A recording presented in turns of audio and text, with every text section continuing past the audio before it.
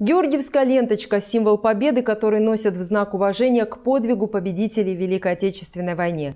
В преддверии 9 мая по всей стране проходит акция «Георгиевская ленточка». Распространением символов доблести и мужества занимаются волонтеры. На улицах Оскола уже раздали 2000 лент. Добровольцы напоминают староскольцам о кодексе биколора. Георгиевская ленточка крепится на левой стороне груди, в области сердца. Ее нельзя носить на ручках, ниже пояса, на сумках, на антеннах машин и на дворниках. Это является неуважением к подвигам наших предков.